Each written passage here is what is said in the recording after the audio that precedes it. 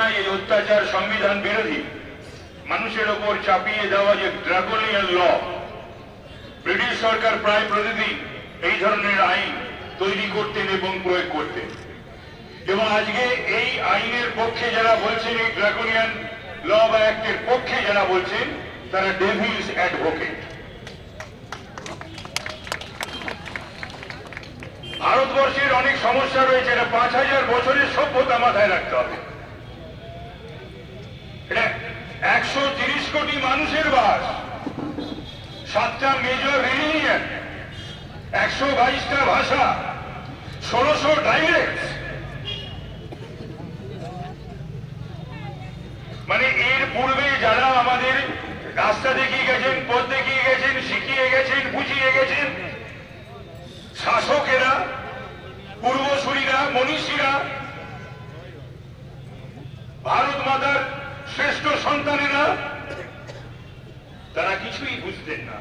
যা বুঝছেন? আজকে ভারতের প্রধানমন্ত্রী, এই শাসক দল এবং তার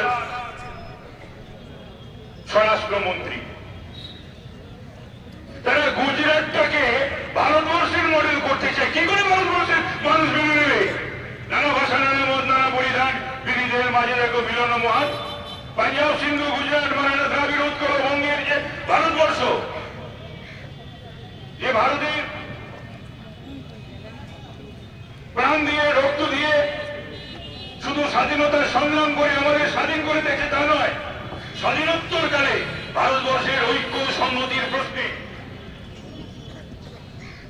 জাতীয় ঐক্য, জাতীয় সংহতির প্রশ্নেও প্রাণ দিয়ে যারা গেছেন, তারা ঐক্যের গান এবং সংহতির গান গিয়ে গেছেন। এই গান ওরা গাইতে দেবে না।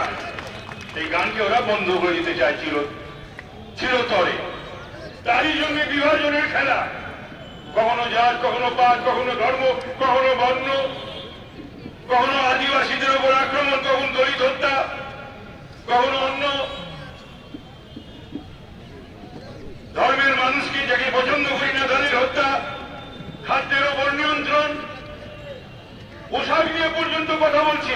একটা রাজনৈতিক দলের সর্বোচ্চ নেতারা, তারা মানুষকে খুঁজছে। তার ঘর খুঁজছে। তার রেফ্রিজারেটর খুঁজছে ফ্রিজ খুঁজছে, কি খাদ্য রয়েছে? প্রধানমন্ত্রী পোশাক নিয়ে কথা বলছে। যা জীবনে আমরা কখনো শুনিনি এবং এটা খুব দুর্ভাগ্যের বিষয় যে ভারতবর্ষের প্রধানমন্ত্রী পোশাক নিয়ে কথা বলছে।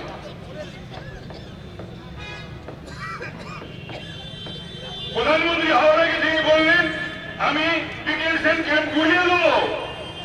প্রধানমন্ত্রী হওয়ার পর সারা ভারতবর্ষে ডিটেনশন ক্যাম্প করতে চাচ্ছেন। কনসেন্ট্রেশন ক্যাম্প এই হিটলারের কথা আমাদের মনে করিয়ে দিচ্ছে।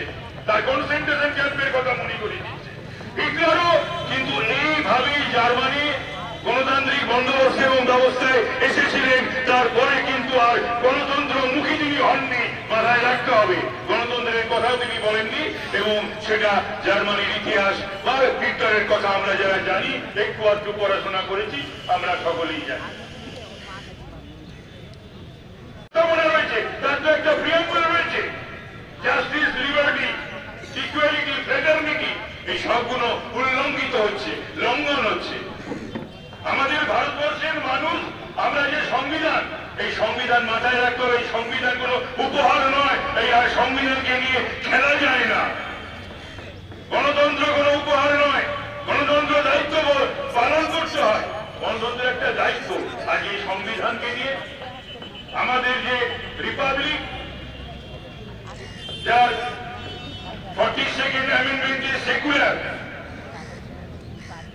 প্রিয়াম্বেলের সঙ্গে যুক্ত হয়েছিল ইনস্ট্রাকশন হয়েছিল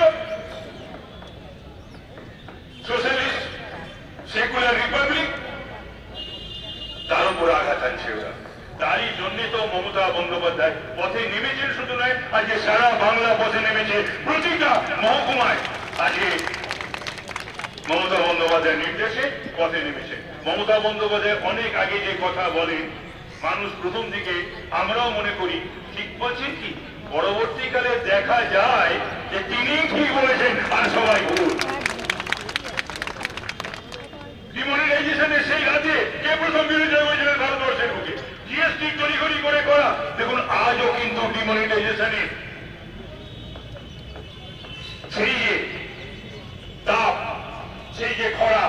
থেকে আমরা আজও মুক্তি পাইনি। আজও কিন্তু ডিমনিটাইজেশনের আমাদের যে ক্ষতি হয়েছে সেই ক্ষতি আজও আমরা বয়ন বহন করে চলেছি। জিএসটি তারা উড়ে করার জন্য আজ অর্থনীতি কোথায় এসে দাঁড়িয়েছে? সেই অর্থনীতির কথা স্বাধীনতার পরে জিডিপি গ্রোথ এখানে এসে এত তলায় এসে দাঁড়ায় স্বাধীনতার পরে এত তলায় এসে কর্মসংস্থান, তারপরে ছাটাই রাষ্ট্রীয়ত সংস্থাগুলোকে বিক্রি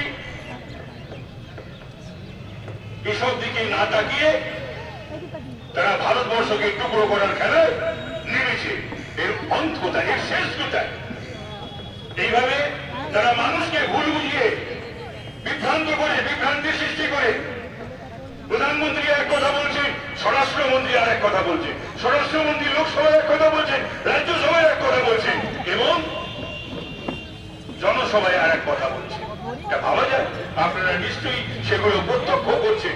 বাংলার মানুষ, আমরা বাঙালি, আমরা ভারতীয়, আমরা রাজনৈতিক সচেতন মানুষ, আমরা বিচক্ষণ মানুষ, আমরা কখন কি করতে হয় আমরা জানি।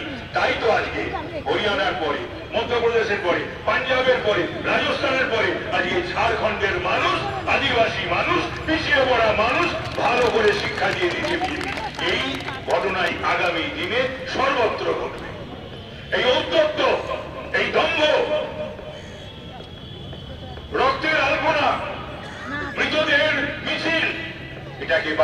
মানুষ, ভারতবর্ষের মানুষ, কখনো কোনোদিনও মেনে নেয়নি, মেনে নেবে না। তাই আমি আপনাদের কাছে অনুরোধ করব, মমতা বন্দ্যোপাধ্যায়ের প্রদর্শিত পথে মমতা বন্দ্যোপাধ্যায়ের আহ্বানে সাড়া দিয়ে তার আন্দোলনে সমর্থক হয়ে আপনারা আমাদের পাশে থাকবেন। এই কামনা করি আমার বক্তব্য শেষ করছি। যদি এখনও আমাদের স্টিং নিউজ চ্যানেলটি সাবস্ক্রাইব না করে থাকেন, তাহলে এক্ষুনি সাবস্ক্রাইব করুন আর বেল আইকনটি ক্লিক করুন। পেয়ে যান সব খবরের দ্রুত ভিডিও আপডেট।